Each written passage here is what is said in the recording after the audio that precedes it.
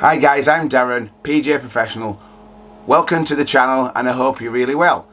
So in today's video we're going to be reviewing the Adidas S2G SL 2024.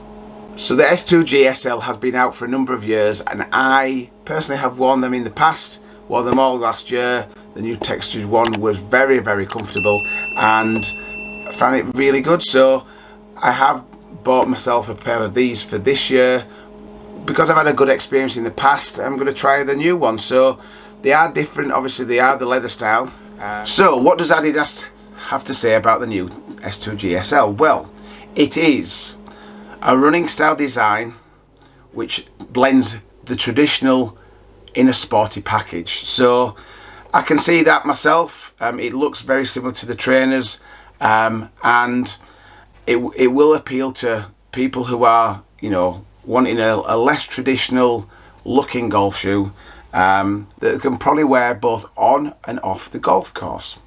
So the uppers are waterproof leather which is obviously essential when you're in the UK. Having that peace of mind that you know it is a waterproof golf shoe um, I'm sure will benefit um, most golfers. With the sporty design you know there is obviously there's two different camps here so there's on one side the traditional that likes ones look, look like golf shoes that look like shoes and then there's the other side of the camp which is people that like a trainer style. So which in the comments down below which camp do you sit in? Do you sit in the traditional golf shoe or do you sit in the less traditional trainer style design? So you know put them comments in below. Which do you um, prefer wearing. Taking the shoe from inside to out, okay?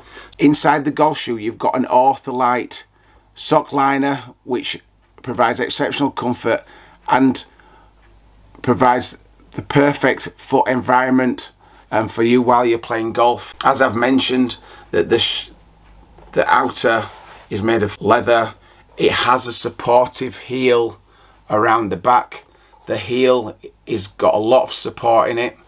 Um, so there's lots of support in this golf shoe, even though it has got a very sporty look on it. It's got a U-shaped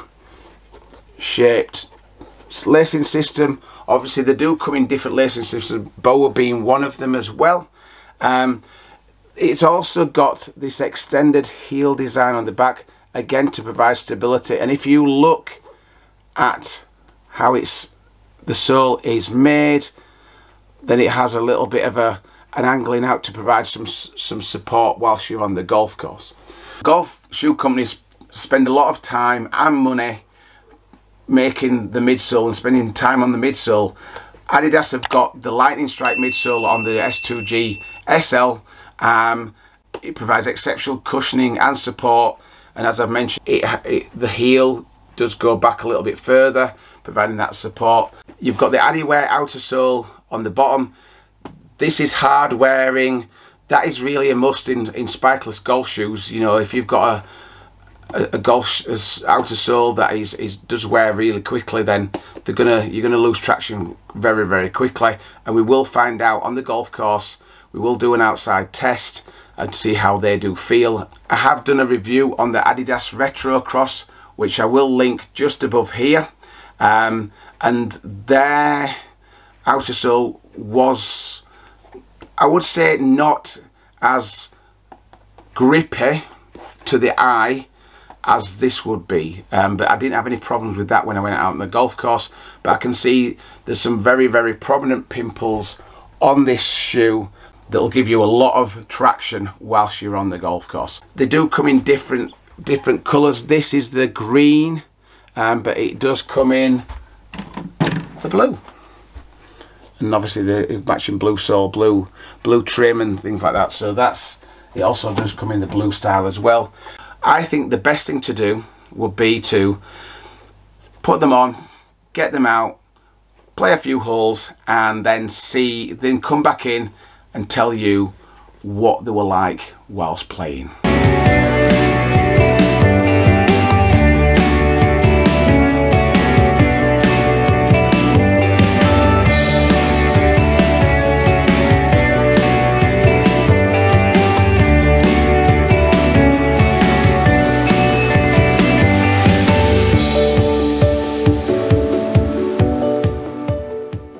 After wearing the S2G SL for a number of weeks now, played some golf in it, practiced in them, I can definitely recommend if you are looking for a super comfy pair of shoes, then it's could be a one for you to wear this year.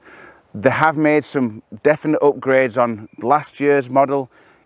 One of the problems that we had with last year is the laces were super, super long. Now they're just a normal length. So when you double knot them, which is what I do when I play golf, is there's not a problem in terms of being too long and, and, and, and flapping all over the place.